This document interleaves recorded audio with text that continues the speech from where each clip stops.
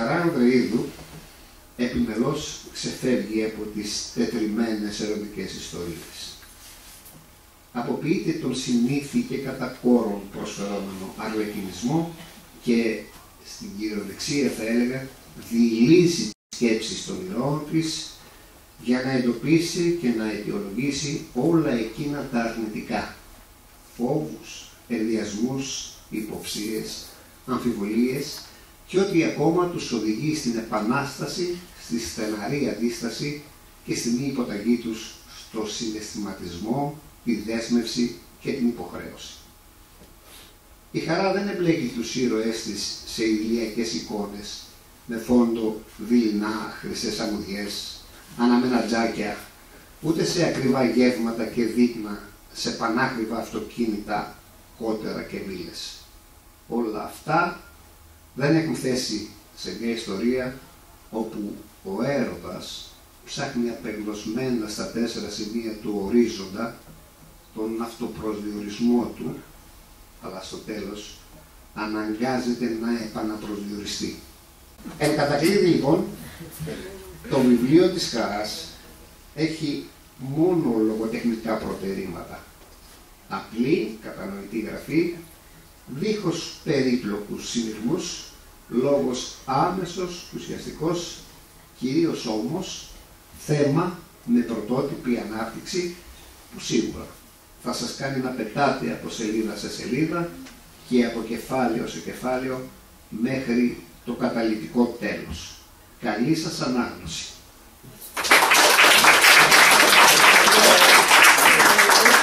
Συνέχεια η κυρία Ανδρείδου θα μας μιλήσει για το βιβλίο της.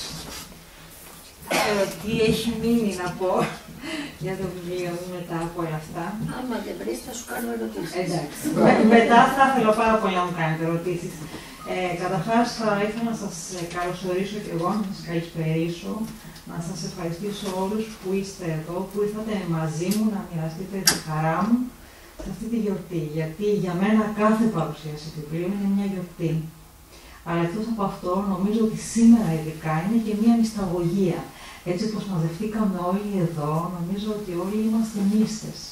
Είμαστε νήστες οι οποίοι πατώντας πάνω στις λέξεις του, του βιβλίου μου, μοιραζόμαστε ε, τον πιο βαθύ αυτό μας, την πιο καθαρή ουσία μας.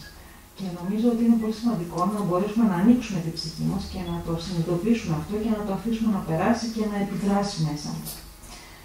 Ε, πριν ξεκινήσω να μιλήσω και εγώ για το βιβλίο μου, ε, θα μου επιτρέψετε να απευθύνω τις ευχαριστίες μου σε όλους όσους έκαναν πραγματικότητα τη σημερινή βραδιά, όσο φίλο και όσο επιθυμώ να το κάνω, γιατί θεωρώ ότι τίποτα δεν είναι αυτονόητο, τίποτα δεν μας χαρίζεται, ε, κανένας δεν μας χρωστάει κάτι και όποιος καταναλώνει ένα κομμάτι από το χρόνο του και από την ανέγγυά του και το αφιερώνει σε εμάς, μας κάνει ένα πολύ μεγάλο δώρο και έτσι πρέπει να το εκλαμβάνουμε.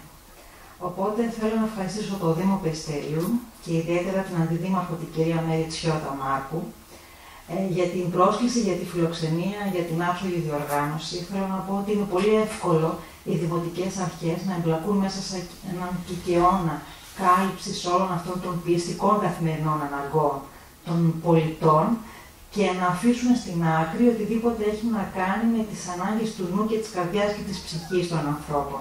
Χαίρομαι πάρα πολύ που ο Δήμος Περιστερίου δεν έχει εμπλακεί, δεν έχει παγιδευτεί μέσα από το κικαιώνα και που δίνει στέγη και διέξοδο στις πνευματικές και στις ψυχικές αναζητήσεις.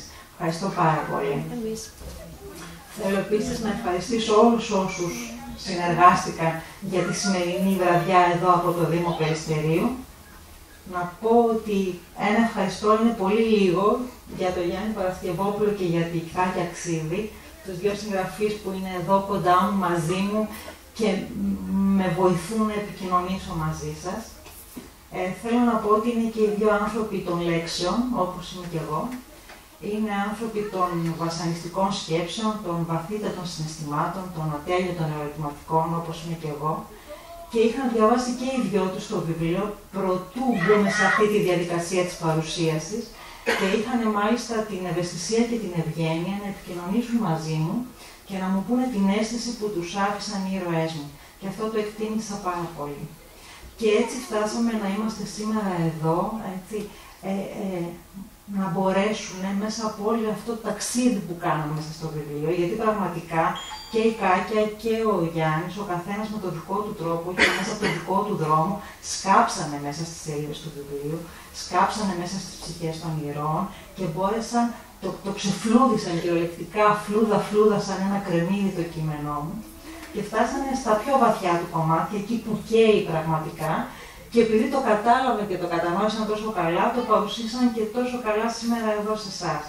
Οπότε ένα ευχαριστώ είναι λίγο, αλλά μόνο αυτό έχω, ένα ευχαριστώ και σας το προσφέρω μαζί με την αγάπη μου και με την εκτίμησή μου. Ένα ιδιαίτερο ευχαριστώ στη Μαρία Τιχανιώδη, η οποία είναι και συγγραφέας, εκτός από ηθοποιός, και η οποία πραγματικά ε, τελευταία στιγμή ε, δέχτηκε να μας κάνει αυτή τη μεγάλη χάρη και να είναι μαζί μας. Θέλω να πω ότι έχω κάνει πολλές παρουσιάσεις, κάθε φορά υπάρχει πάντοτε ένας ηθοποιός ο οποίος διαβάζει αποσπάσματα και είναι πάρα πολύ ωραίο να βλέπεις πόσο κάθε ένας από αυτούς εκ, εκλαμβάνει και ερμηνεύει στη συνέχεια το κείμενό σου. Μαρία, με συγκίνησες αφάνταστα με την ερμηνεία σου. Ίσως έχω και τις δύο ιδιότητες, Σαράγια. Ίσως. Σε ευχαριστώ πάρα πολύ. Εγώ ευχαριστώ για την βιβλίο. Ένα ευχαριστώ στο βιβλιοπωλείο Πορθητός, το οποίο συμβάλλει σημαντικά στην, στη διοργάνωση της σημερινής βραδιάς. Και νομίζω ότι μπορώ τώρα να ξεκινήσω να μιλήσω για το βιβλίο. Είναι το τρίτο βιβλίο μου, όπως σας είπε και η Κάκια. Θα ήθελα να σας πω καταρχάς πώς ξεκίνησα να γράφω και γιατί συνέχισα και συνεχίζω να γράφω. Ξεκίνησα να γράφω πριν από μερικά χρόνια υπακούοντας σε δύο ε, κυρίαρχες ανάγκες μέσα μου, σε δύο βασικά χαρακτηριστικά μου. Και το πρώτο είναι η ανάγκη μου να, να μελετήσω, να αναλύσω, να καταλάβω, να κατανοήσω και να αποδεχτώ καταρχάς εμένα και στη συνέχεια με βάση αυτό και τους ανθρώπους γύρω μου και τον κόσμο γύρω μου, τον κόσμο με την έννοια της ε, συνέχειας της ζωής, της αέναης κίνησης. Ε, για να το κάνω αυτό είμαι συλλέκτης. Είμαι μεθοδικός, επίμονος, ενθουσιώδης συλλέκτης στιγμών, σκέψεων, ιστοριών, συναισθημάτων, εικόνων. Έχω συνεχώς δηλαδή τα μάτια μου και τα αυτιά μου ανοιχτά και οτιδήποτε περνάει από μπροστά μου και μου κάνει εντύπωση, το πιάνω, το ρίχνω μέσα μου και το αφήνω να τριγυρνάει εκεί, μέχρι που θα έρθει η στιγμή να το βγάλω έξω και να αρχίσω να το μελετάω, να το αναλύω και να προσπαθήσω να, να το καταλάβω σε όλη του την αλήθεια. Αυτή είναι μια άσκηση αυτογνωσίας που κάνω από τότε που θυμάμαι τον εαυτό μου και η οποία με βοηθάει πάρα πολύ. Αλλά επίσης δίνει και μια διέξοδο στη μεγάλη αγάπη που έχω για τις λέξεις. Αυτή είναι η δεύτερη κυρίαρχη ανάγκη μου που με οδήγησε να ξεκινήσω να γράφω. Η πολύ μεγάλη αγάπη που είχα από πολύ μικρή για τις λέξεις, για το λόγο. Με εγωιτεύει αφάνταστα, με εγωιτεύουν αφάνταστα οι άπειρες δυνατότητες που σου προσφέρουν οι λέξεις, ο γραπτός κύριος λόγος. Όλες αυτές οι, οι απειροελάχιστες αποχρώσεις που μπορούς, μπορείς να αποδώσεις με το λόγο, οι διαφορετικές διαβαθμίσεις, οι τονισμοί, τα παιχνίδια που μπορείς να κάνεις, ε, έχω μια συνήθεια η οποία ουσιαστικά είναι μια αιμονή μέσα μου. Ε, οτιδήποτε συμβαίνει στον κόσμο μου να το περιγράφω εξαντλητικά μέσα μου, προσπαθώντας να το καταλάβω. Και όλο αυτό γίνεται μέσα από τις λέξεις. Γίνεται μέσα από λέξεις που άλλες τις κουβαλάω μέσα μου από καιρό και άλλες γίνονται μέσα μου εκείνη τη στιγμή. Οπότε, από ό,τι καταλαβαίνετε, μέσα στο μυαλό μου υπάρχει μια συνεχής φασαρία και ούτε μια στιγμή ησυχίας. Αυτά τα λόγια τα έχω βάλει και στο στόμα της, πρώτη, της ηρωίδας του πρώτου μου βιβλίου, η οποία κάποια στιγμή αγανακτισμένη τελείως φωνάζει τις φωνές μέσα της, πάψτε επιτέλους. Ήταν πολλές οι φορές που θέλησα κι εγώ να φωνάξω σε όλες αυτές τις φωνές μέσα μου, πάψτε επιτέλους. Ευτυχώς, αντί να κάνω αυτό, ξεκίνησα να γράφω. Η συγγραφή με βοηθάει πάρα πολύ να, να διαχειρίζομαι όλα αυτά που που χορεύουν, που παλεύουν, που τριγυρνάνε συνέχεια μέσα μου, όλα αυτά που με προβληματίζουν, που με κρατάνε συνεχώς σε εγρήγορση. Όλα αυτά τα διοχετεύω στους ήρωές μου. Συνδέω κάθε ήρωα με μία φωνή μέσα μου, του δίνω σάκα και οστά, τον βάζω μέσα σε ένα βιβλίο, μαζί με τους άλλους ήρωες και τους αφήνω εκεί να συνδιαλέγονται και να προβληματίζονται σε έναν αέναο διάλογο, σαν αυτό που συμβαίνει κάθε στιγμή μέσα μου. Είναι μια διαδικασία η οποία με βοηθάει, με αναποφίζει, καταπραίνει τις αγωνίες μου και είναι για μένα έκφραση, λύτρωση, αλλά είναι και ψυχοθεραπεία. Οπότε από την πρώτη στιγμή που έγραψα το πρώτο κείμενο του πρώτου μου βιβλίου, δεν σταμάτησα να γράφω. Ε, όλη αυτή η διαδικασία ε, απέκτησε μια ασυγκράτητη ορμή μέσα μου, η οποία δεν σταματάει μπροστά σε τίποτα. Και έτσι έγραψα το πρώτο, το δεύτερο και φτάσαμε σήμερα στο τρίτο βιβλίο. Θα σας πω γιατί έγραψα αυτό το βιβλίο. Έγραψα αυτό το βιβλίο, όπως και τα άλλα μου βιβλία βέβαια, για να μπορέσω να, ε, να εκφράσω, να καταγράψω και να μοιραστώ μαζί με άλλους ανθρώπους μία σειρά από βασικά θεμελιώδη ερωτήματα, τα οποία τριγυρνάνε συνεχώς μέσα μου και τα οποία με προβληματίζουν, με ταλανίζουν και προσπαθώ να δώσω απαντήσεις. Ε, είναι ερωτήματα που έχουν να κάνουν με την στάση μας απέναντι στη ζωή και με το ζήμωμά μας με τους άλλους ανθρώπους. Ερωτήματα για το τι είναι αγάπη και τι είναι έρωτας. Για την αξία του καθολικού σωστού, του πρότυπου δηλαδή, του παραδείγματος προς μίμηση. Για τις ταμπέλες που ψώνουμε στη ζωή μας, πόσο θάρρος, πόση αλήθεια ή πόσο ψέμα κουβαλάνε πάνω τους. Για το αν οι ανάγκες μας δικαιολογούν τις πράξεις μας, δηλαδή αν δικαιούμαστε στην προσπάθεια κατάκτησης της προσωπικής μας ευτυχίας να χειραγωγούμε και να χειριζόμαστε τους άλλους. Για το πόσο υπερτιμημένη ή πόσο σημαντική είναι η αλήθεια, πόσο σωτήρια ή πόσο καταστροφική μπορεί να είναι η εκούσια ή θελημένη τυφλότητα. Για το πόσο κομμάτι από την ψυχή μας και από τη ζωή μας μπορούμε να παραχωρήσουμε σε έναν άλλον άνθρωπο, προτού να χάσουμε τον ίδιο μας τον εαυτό. Πού είναι τα όρια σε όλα αυτά, υπάρχουν όρια σε όλα αυτά; Όλα αυτά τα ερωτήματα έθεσα μέσα σε αυτό το βιβλίο και το πιο βασικό από όλα, αυτό για το οποίο γράφτηκε ουσιαστικά το βιβλίο, είναι το ερώτημα αν υπάρχει ψυχή. Αν υπάρχει ψυχή και αν υπάρχουν αδελφές ψυχές. Αν θα μπορούσα να πιστέψω σε κάτι, θα ήθελα πάρα πολύ να πιστέψω ότι υπάρχει ψυχή.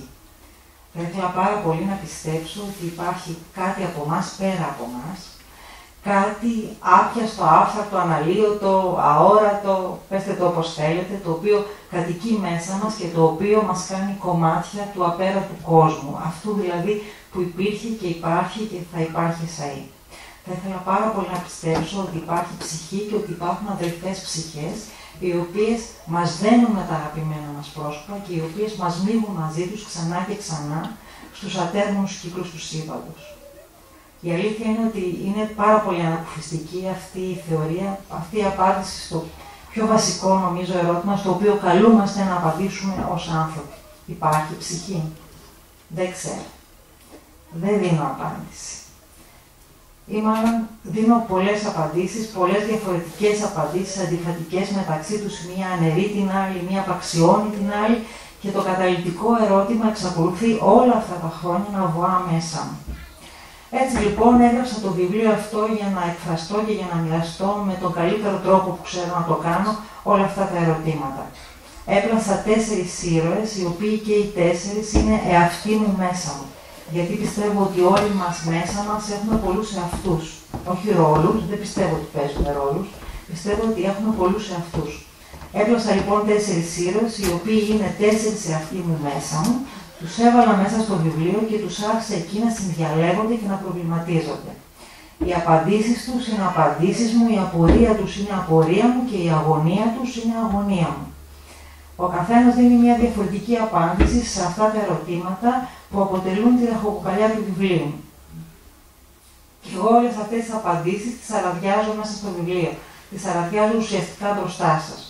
Δεν προκρίνω καμία έναντι της άλλης, δεν επιλέγω καμία ως σωστή, απλώς τις αραδιάζω μπροστά σας για να πάει ο καθένας σας να διαλέξει ό,τι του ταιριάζει. Ή και να μην πάρει καμιά, να έχει ο καθένας τη δική του αλήθεια, τη δική του απάντηση και να μείνει προσκολλημένος σε αυτήν.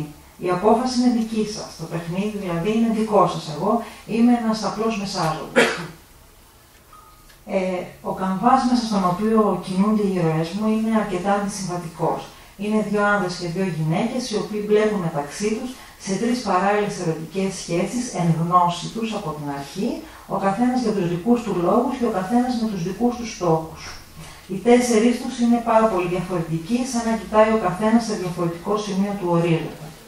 Και μέχρι τη στιγμή που συναντάμε αυτούς τους τέσσερις χαρακτήρες, στην αρχή του βιβλίου, είναι όλοι τους πάρα πολύ σίγουροι για τις αλήθειες τους. Ο καθένας τους έχει πίσω του μια ζωή που τον οδήγησε μέχρι εκεί, που τον βόλεψε στις θεωρίες που του ταιριάζουν και που ανταποκρίνονται στην πολύτιμη εικόνα του που θέλει να έχουν οι άλλοι γι' αυτόν. Και υπάρχουν βέβαια στιγμές όταν ο καθένας τους είναι μόνος του με τους πιο κρυφούς εαυτούς του, που αυτή η πολύτιμη εικόνα καταραίει, που είναι πολύ μικρή και πολύ στενή και τους κάνει να σφιχτιούν. Κρατούν όλοι τους αυτή την εσωτερική πάλι βαθιά θαμένη μέσα τους και πορεύονται στον κόσμο αγκαλιά με την πολύτιμη εικόνα τους. Ώσπου κάποια στιγμή η μοίρα, το κισμέτ, το πετρωμένο, δεν ξέρω πώς να το πω ακριβώς, ή μήπως μια βαθιά ανεξέλεγκτη εσωτερική ανάγκη, ή μήπως η ελεύθερη βούληση. Πώς να απαντήσει κανείς τι από όλα αυτά. Πάντως κάποια στιγμή αυτοί οι τέσσερις άνθρωποι συναντιούνται, συνυπάρχουν, όχι απαραίτητα σαν, όχι απαραίτητα σωματικά, αλλά σαν ένα καινούριο δεδομένο στη ζωή τους και αναγκάζονται να βγουν όλοι στην αρένα και να αντιμετωπίσουν εκ νέου ο ένας τον άλλον, να αντιμετωπίσουν εκ νέου ο ένας την αλήθεια και την πραγματικότητα του άλλου. Ο καθένας με το δικό του τρόπο μέσα από το δικό του δρόμο. Αυτή η σφιχτοδεμένη σχέση λοιπόν που δημιουργείται σαν ένα ντόμινο, τους επηρεάζει πάρα πολύ και έχει σαν αποτέλεσμα να άρουν όλες τις σιγουριές τους και να δυναμητίζονται και να κλονίζονται όλες οι βεβαιότητές τους έρχονται αντιμέτωποι με τον ίδιο τον εαυτό και ο κόσμος τους σύεται συχθέμελα.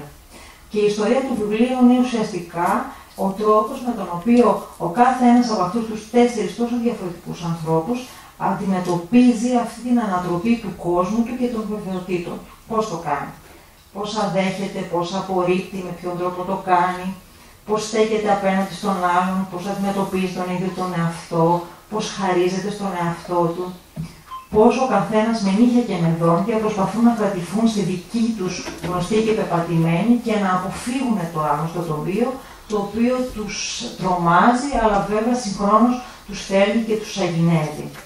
Και πώς τελικά μέσα από τελείως διαφορετικά μοναπάτια ο καθένας, όλοι τους, μα όλοι τους, θέλουν να φτάσουν στο ίδιο ζητούμενο, το οποίο είναι η ζεστασιά και η γαλήνη της μοναδικής αγάπης, ακόμη και αν ξέρουν από την αρχή ότι κυνηγούν μια utopia.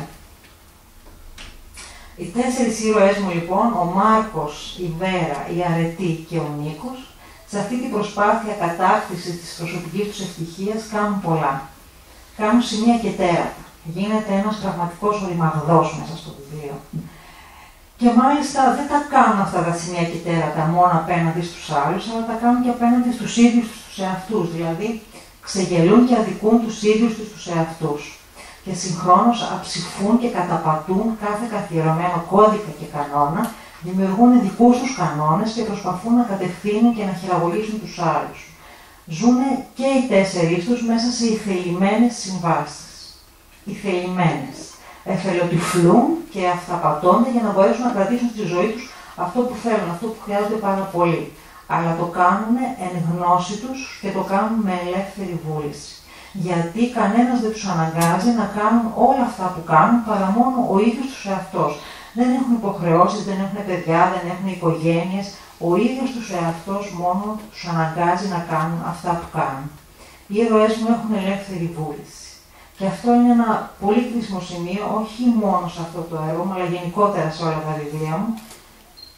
Θα ήταν πάρα πολύ εύκολο για μένα, για σεναριακή ευκολία, να βάλω τους ήρωες να είναι θύματα, έρμεα, να μην γνωρίζουν τι συμβαίνει. Αλλά για μένα η ουσία και η δύναμη του ανθρώπου είναι στην ικανότητά του να γνωρίζει. Να αναγνωρίζει, να κατανοεί, να συμφιλιώνεται, καταρχάς με τον εαυτό του και στη συνέχεια βέβαια αν μπορεί και με όλους τους άλλους. Τώρα, μέσα στο βιβλίο, μέσα από αυτό το επίπονο και επίμονο ζήμωμα των ηρώων μου, βρίσκω την ευκαιρία να κάνω κάτι που μου αρέσει πάρα πολύ. Και αυτό είναι να θέτω υπό αμφισβήτηση όλες τις γνωστές παραδοσιακές αξίες και αξιώματα. Όπως, ας πούμε, τίθεται υπό αμφισβήτηση μέσα στο βιβλίο ε, η αρνητική χρειά που συνηθίζουμε να δούμε στις συμβάσεις, μέσα στις οποίες αναγκαζόμαστε όλοι να ζήσουμε ένα κομμάτι της ζωής μας. Αναρωτιέμαι λοιπόν μέσα στο βιβλίο, είναι τόσο κακό να ζει κανεί μέσα σε συμβάσεις Είναι τόσο κακό όταν ξέρεις ότι δεν μπορείς να έχεις ολόκληρο αυτό που θέλεις, αυτό που χρειάζεσαι πολύ, τότε να δέχεσαι μόνο το μισό, να ικανοποιήσει μόνο με το μισό. Αρκεί βέβαια να γνωρίζεις και εσύ, αλλά και όλοι οι άλλοι, οι οποίοι εμπλέκονται μαζί σου σε αυτή την ιστορία, ότι κρατάτε το μισό μόνο κομμάτι, τη μισή αλήθεια, τη μισή ζωή. Ίσως τότε να μην είναι τόσο αρνητική μια σύμβαση. Ένα άλλο αξίωμα που τίθεται υπό αμφισβήτηση στο βιβλίο είναι αυτή η περίφημη ελεύθερη βούληση. Αυτή δηλαδή ε, η ικανότητα επιλογής που βαφκαλιζόμαστε όλοι ότι έχουμε σαν άνθρωποι. Αναρωτιέμαι μέσα στο βιβλίο πόσο ελεύθερη μπορεί να είναι η βούληση ενός ανθρώπου που είναι ερωτευμένος. Πόσο ελεύθερη μπορεί να είναι η βούληση ενός ανθρώπου που έχει πολύ μεγάλη ανάγκη από έναν άλλον άνθρωπο για μότο του βιβλίου, αυτή δηλαδή τη μικρή φρασούλα που βάζουμε στην αρχή του βιβλίου και που συνοψίζει ε, όλη τη φιλοσοφία του έργου, έχω διαλέξει ένα δύστιχο από τον αγαπημένο μου Ρωτόκριτο, όπου ο ποιητής λέει «Ο πόθος όντε βουληθεί και θέλει να νικήσει, γνώση δεν είναι ουδέ δύναμη να τον επολεμήσει». Δηλαδή, ο πόθος είναι παντοδύναμος, δεν μπορεί να τον νικήσει κανείς. Μόνο που εγώ στη θέση της λέξης πόθος βάζω τη λέξη ανάγκης ε, θεωρώ ότι όλοι μας, θεωρώ, πιστεύω ακράματα, ότι όλοι μας έχουμε βαθιές απαιτητικές καταλητικές ανάγκες, οι οποίες μας ορίζουν, μας προκαθορίζουν και μας δίνουν το στίγμα μας σε αυτή τη ζωή. Και είναι πάρα πολύ δύσκολο να σταθεί κάποιος απέναντι στις ανάγκες του και είναι ακόμη δυσκολότερο να τις πολεμήσει. Ε, οι ήρωές μου μέσα από όλα αυτά ζουν μια πραγματική σφαγή και αυτά που θυσιάζει ο κάθε ένας τους στην προσπάθειά του να συνεπάρξει με τους άλλους ανθρώπους είναι οι δικές του βεβαιότητες, οι δικές του σιγουριές, οι δικές του αλήθειες. Ουσιαστικά υποφέρουν μέσα στο βιβλίο από την ανατροπή του κόσμου τους και την βεβαιοτήτου τους. Δεν ξέρω αν καταλαβαίνετε πόσο δύσκολο είναι να πορεύεται κανείς αυτή τη ζωή χωρίς καμία σιγουριά. Οι ήρωές μου λοιπόν το κάνουν αυτό και παρόλα αυτά εξακολουθούν να προσπαθούν, εξακολουθούν να ζυμώνονται, να δίνουν, να παίρνουν, να διεκδικούν, να παραχωρούν, εξακολουθούν να προχωρούν, να προσπαθούν να συνεπάρξουν με κάποιους άλλους ανθρώπους του οποίους διάλεξαν. Οπότε μέσα από αυτό το ζήμωμα κάποια στιγμή όλοι τους κάνουν ένα βήμα πίσω, κάνουν ένα βήμα πλάγια και λένε ίσως. Λένε ίσως και αποδέχονται ότι εκτός από τις δικές τους αλήθειες υπάρχουν και οι αλήθειες των άλλων ανθρώπων. Αυτό το ίσως είναι και η ουσία του βιβλίου. Αυτή η παραδοχή δηλαδή ότι εκτός από τη δικιά μας αλήθεια υπάρχουν και άλλες αλήθειες και ότι όσο καλά ταμπουρωμένοι και αν είμαστε πίσω από τη δική μας αλήθεια και όσο ικανοποιημένοι και αν είμαστε από αυτή, η ζωή κάποια στιγμή θα μας φέρει αντιμέτωπους και με τις αλήθειες των άλλων και θα μας αναγκάσει να πάρουμε θέση. Αυτό είναι το κόστος της συνύπαρξής μας με τους άλλους ανθρώπους. Το κόστος του να μην είμαστε μόνοι. Πρέπει να αποδεχτούμε και τις αλήθειες των άλλων και να συνεχίσουμε να ζούμε, να συνεπάρχουμε και να ζυμωνόμαστε μαζί τους. Ή να μην δεχτούμε ούτε τις αλήθειες αλλά ούτε τους ανθρώπους και τότε να μείνουμε μόνοι. Αυτό είναι μια απόφαση δική μας. Θα ήθελα να διαβάσω εδώ ένα πολύ πολύ μικρό κείμενο, το οποίο μιλάει για αυτό το ίσως. Είναι ένα κείμενο το οποίο αν κάποιος με ανάγκαζε με το πιστόλι στον πρόταφο να διαλέξω ένα αγαπημένο κείμενο από το βιβλίο, θα διάλεγα αυτό που μιλάει για έναν φράχτη και το κείμενο που μας διάβασε η Μαρία για την απουσία και την απώλεια. Ε, αν έπρεπε να διαλέξω ανάμεσα σε αυτά τα δύο, δεν ξέρω τι θα έκανα, ειλικρινά. Οπότε θα μου επιτρέψετε να σας διαβάσω ένα μικρό κειμενάκι για τον φράχτη.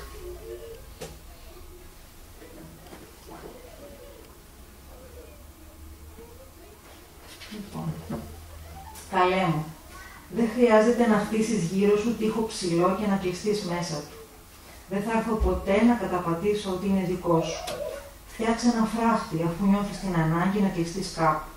Φτιάξε ένα φράχτη χαμηλό, να μπορείς να με βλέπεις από μέσα του, να μπορούμε να γνέφουμε ένα τον άλλον και να στέλνουμε από μακριά ένα γεια και μια καλημέρα, να πλησιάζουμε όταν το χρειαζόμαστε ο ένας τον άλλον και πάνω από το φράχτη μέσα του εσύ και απ' έξω εγώ, να απλώνουμε το χέρι και να αγγίζουμε το μάγουλο, να ψιθυρίζουμε στο αυτί, να φυλάμε τα μάτια. Φτιάξε ένα χάρτη χαμηλό και άφησέ του και μια πόρτα. Μήπως κάποια μέρα θελήσεις να την ανοίξεις, να τη διαβείς και να έρθεις έξω στον κόσμο να με βρεις.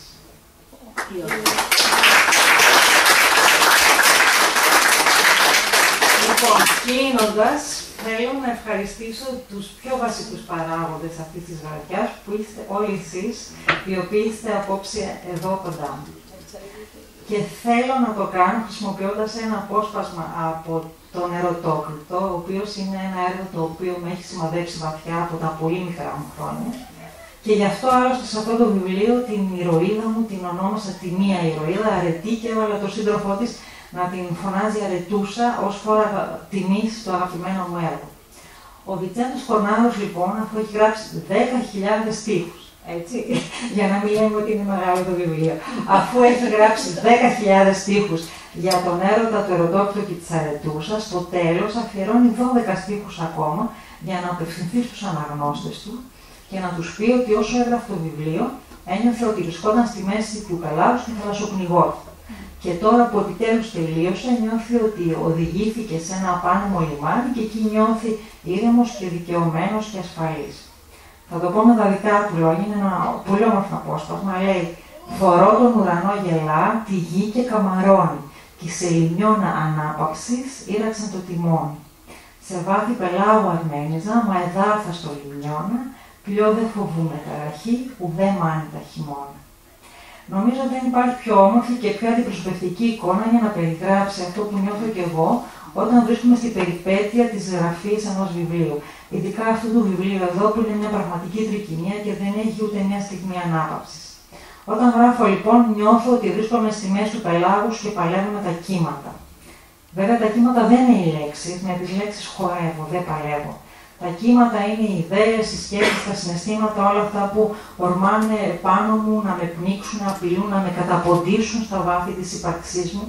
Και όταν επιτέλους όλα αυτά κατορθώνω και τα δαμάζω και τα μερεύω και τα απλώνω πάνω σε ένα χαρτί, τότε νιώθω λοιπόν ότι ημερεύει η θάλασσα και εγώ οδηγούμε σε ένα απάνεμο λιμάνι. Αυτό το λιμάνι λοιπόν είστε όλοι εσείς, είστε οι αναγνώστες μου οι οποίοι με περιμένετε εκεί, να με υποδεχτείτε, να πάρετε στα χέρια σας ό,τι έχω γράψει, να το διαβάσετε και έτσι να του δώσετε αξία και φωνή και υπόσταση. Να του δώσετε ουσιαστικά λόγο ύπαρξης και να δώσετε και σε μένα την ευκαιρία να ηρεμήσω. Μέχρι το επόμενο βέβαια ταξίδι. Γι' αυτό λοιπόν το ταξίδι και γι' αυτό το λιμάνι. Γι' αυτό το λόγο ύπαρξης που δίνεται σε ό,τι γράφω, δεν υπάρχουν λόγια ικανά για να εκφράσω τη χαρά τη δικαίωση και την ευγνωμοσύνη. Η συγγραφέας δεν έχει λόγια. Μόνο ένα μεγάλο ευχαριστώ. Ευχαριστώ.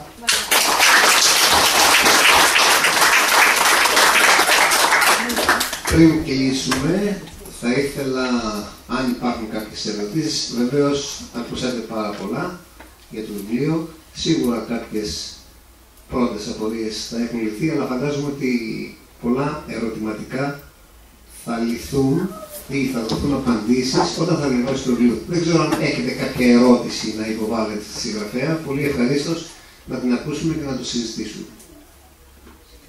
Μέχρι το πρωί θα μπορούσαμε να μιλάμε για το βιβλίο, ναι, το κάνουμε Ωστόσο όμως οι, οι, οι παρευρισκόμενοι έχουν το δικαίωμα, αν νομίζουν ότι κάποια απορία τους θα λυθεί εδώ και όχι με την ανάγνωση του βιβλίου, να θέσουν κάποια ερώτηση. Επίσης, μπορείτε να με δείτε στη σελίδα μου στο Facebook και να ανοίξουμε μια μεγάλη κουβέντα ατέρμονη για όσο θέλετε. Πότε θα γράφει τώρα; Βρίσκω τον χρόνο. Στην έξοδο βρίσκεται το βιβλίο Ποθητός όπου μπορείτε να προμηθευτείτε το βιβλίο της χαράς και να έρθετε εδώ να σας το υπογράψει. Λοιπόν, πριν, πριν κλείσετε, επειδή δεν βλέπω ερωτήσεις, θα ήθελα μια τοποθέτηση να κάνω. Βεβαίως, γιατί όχι. Λοιπόν, αισθάνομαι την ανάγκη να το κάνω, αν ε, και η Χαρά και ο κύριος Παρασκευόπουλος δεν με γνωρίζουν, όμως με γνωρίζει η Κάκια πόσο λίγο μιλώ ε, έξω σε κοινό χώρο. Ε, θα ήθελα λοιπόν να τοποθετηθώ ως εξής. Γιατί σήμερα βρίσκομαι ως κομίτης εδώ και έχει μεγάλη σημασία αυτό για μένα το να μιλώ στο μικρόφωνο. Αισθάνθηκα όταν μου εζητήθη να διαβάσω αποσπάσματα στην σημερινή παρουσίαση Ε, ότι τώρα πω, πω, πώς αυτό το... Δεν το θέλω και πολύ, δεν είμαι εγώ. Η Κάκια μπορεί να το πει. Η Κάκια είναι φίλη ε, από τα παλιά. Ε, λες και κάτι, με όθησε όμως, ενώ αυτό ήταν δευτερόλεπτο και μεγαλόφωνη σκέψη, να απαντήσω ναι. Και πολύ χαίρομαι, γιατί γνώρισα την Χαρά Ανδρεϊδού από τη γραφή της. Δεν έχω διαβάσει το βιβλίο, οπότε δεν μπορώ να πω περισσότερα, ούτε θέλω να σας κουράσω, όμως τα μικρά ε, αποσπάσματα που διάβασα ε, έχουν πλέον χαρακτηρίσει μέσα μου το έργο της. Αισθάνομαι ως ε, συγγραφέας και εγώ ότι το είπε ήδη η ίδια στην ε, ομιλία της ότι εξαντλεί τα πάντα, ε, ότι γίνονται γύρω της, τα εξαντλεί πρώτα μέσα της. Ήταν λοιπόν εύστοχο ε, να γράψει και να γράψει όλα αυτά που την κατακλείζουν, γιατί σε μένα πέρασε, εδώ είναι η τοποθέτησή μου, ότι δεν γράφει απλά αυτή η χαρά Ανδρείδου που δεν την ξέρω, θα την γνωρίσω αύριο. Μπράβο της. Κοίτα πώς το αναλύει, λέω. Δεν το αναλύει. Ε, δεν λέει απλά μία κουβέντα, τι είναι ψυχή και εύστοχα έχει βάλει τέσσερις διαφορετικούς ήρωες ακριβώς για να λειτουργήσει αυτή η αμφισβήτηση και να πέσει στο, στο χαρτί όλα αυτά τα μεν, δε και, και, και, και. Αλλά εμένα με εξέπληξε και μου αρέσει και της δίνω συγχαρητήρια ε, από αυτό το βήμα το πώς τα αναλύει, όχι απλά με μία, δύο, τρεις κουβέντες και σε σημείο που να μην γίνονται κουραστικά. Γιατί ε, υπάρχει, ενέχει ο κίνδυνος να γίνουμε κουραστικοί οι συγγραφείς, εάν δεν αρέσουμε να το πούμε απλά. Εμένα μου αρέσει πάρα πολύ η γραφή της, της δίνω συγχαρητήρια και θέλω να, την, ε, να καταθέσω τη δική μου άποψη περί ψυχής, πριν το διαβάσω, ο καθένας θα έχει το, τη δική του άποψη, η δική μου άποψη είναι πριν καν το διαβάσω, να απαντήσω στη χαρά ότι υπάρχει ψυχή. Είμαι βεβαία γι' αυτό. Ή τουλάχιστον εγώ θέλω να αισθάνομαι ότι υπάρχει ψυχή. Άμα πια. λοιπόν, και έτσι πορεύομαι μια χαρά στη ζωή μου, ε, γιατί ξέρετε οι άνθρωποι οι οποίοι έχουν συνειδητοποιήσει κάποια πράγματα, αλλά ακολουθούν αυτή την πορεία στη ζωή τους, με τις συνειδητές τους, ε, ε, με το στίγμα τους, ε, πάνε μια χαρά. Αυτός είμαι, αυτό πιστεύω και προχωρώ. Ε, και να καταλήξω ότι ε, εκτός το ότι με τιμά το ότι βρίσκομαι σε αυτό το πάνελ, υπάρχει και κάτι άλλο. Εγώ θα ομολογήσω αυτή τη στιγμή μπροστά σας κάτι τα οποία εύκολα δεν τα λέω. Δεν ξέρω γιατί είσαστε πραγματικά σήμερα αισθάνομαι ότι κάνουμε μυσταγωγία. Πολύ όμορφο το είπες. Είναι πολύ όμορφος ο χώρος. Έχει πραγματικά σας δίνω συγχαρητήρια. Ε, είναι τα μαγνητικά κύματα πολύ καλά. Λοιπόν, με προκαλεί η κυρία Χαράνδρεϊδου να συνεχίσω να γράφω, γιατί εδώ και αρκετό καιρό εγώ δεν γράφω. Δεν παίζω σε θέατρο. Δεν, δεν, δεν. Υπάρχει μια άρνηση. Ήταν λοιπόν ευχής έργων. Ευχαριστώ πάλι την Κάγια Ξίδη που μου έδωσε αυτό το λάκτισμα να διαβάσω το βιβλίο. Σήμερα θα κάτσω να αρχίσω μόλις πάω σπίτι. Το έχω να το κάνω, πιστέψτε με, πάρα πολύ καιρό. Μη σας κουράζω άλλο, συγχαρητήρια και μπράβο. Είναι, θεωρώ, ε, μεγάλη τιμή να πει κάποιος ότι μου προκάλεσε να γράψω αυτό Δύο στα δύο λοιπόν. Δύο στα δύο. Δύο στα δύο. Ε, θέλω να πω και εγώ πραγματικά αυτό μου το είχε πει. Και εγώ γι' αυτό την πήρα τηλέφωνο. Δεν θέλω να μιλήσουμε οπωσδήποτε όταν διάβασα το βιβλίο της. Γιατί μετά άρχισα και έγραφα. Άρχισα και έγραφα. Ε, μάζεψα τα χαρτιά μου, μάζεψα και άρχισα και έγραφα. Ενώ είχα πολύ καιρό να γράψω. Είναι πάρα, πάρα και πολύ πραγματικά εντάξει. Μία συγγραφέα το να ε, δώσει τέτοιες οθήσεις και δομήσεις σε έναν ε, συγγραφέα. Μπράβο. Δεν έχω λόγια. Δεν έχω λόγια, δεν έχω λόγια για όλους σας. Ε, σας κουράσαμε, είμαστε μια μισή ώρα εδώ, αλλά όσο πραγματικά επικοινωνούσαμε, Χαίρομαι πάρα πολύ. Ε, ε, σκεφτόμουν να, να πω πολύ λιγότερα, αλλά ένιωθα να, να υπάρχει μια ενέργεια η οποία έρεε ανάμεσά μας και ελπίζω να, να, να μοιραστήκατε μαζί μας αυτή τη χαρά μας, πραγματικά. Ευχαριστώ πολύ. Λοιπόν, να κλείσουμε λέγοντας ότι όλα αυτά που είδατε, που παρακολουθούσατε να συμβαίνουν στο πάνελ εδώ, για όλα αυτά φταίει το σατανικό facebook. Εκεί που μπαίνουμε και χανόμαστε, εξαφανιζόμαστε, παθαίνουμε πράγματα και θαύματα. Απόψε λοιπόν ήταν θαύμα. Σατανικό facebook. Μάριε, για σκέψου το λίγο. Κάντε κάτι. Σας ευχαριστούμε θερμά που ήσασταν απόψε εδώ μαζί μας. Ήταν πολύ μεγάλη η τιμή που μας κάνατε. Να ευχαριστήσουμε τον Δήμαρχο τον κύριο Ανδρέα Παχατουρίδη, την κυρία Τσιόντα, την αντιδήμαρχό μας, το στυλοβάρι, τον πυλώνα του πολιτικού μας στο Περιστέρι. Ε, έχετε κάνει πάρα πολλά. Και να είστε πάντα καλά, να μας δίνετε... Θα μου επιτρέψετε να διαφωνήσω. Νομίζω ότι ό,τι κάνουμε όλοι εμείς, αυτό είναι και το αποτέλεσμα που φαίνεται. Νομίζω, αν μου επιτρέπετε να πω στη χαρά, ότι επειδή έχουμε κάνει αρκετές παρουσιάσεις σε αυτό το χώρο, η σημερινή είναι ξεχωριστή, ιδιαίτερη και τη θεωρώ ίσως και τη μοναδική σε, σε ποιότητα, σε γέμισμα έτσι ψυχής. Πραγματικά συγχαρητήρια. Να είστε καλά. Μπράβο, Να είστε καλά. Και σας περιμένουμε στην επόμενη παρουσίαση.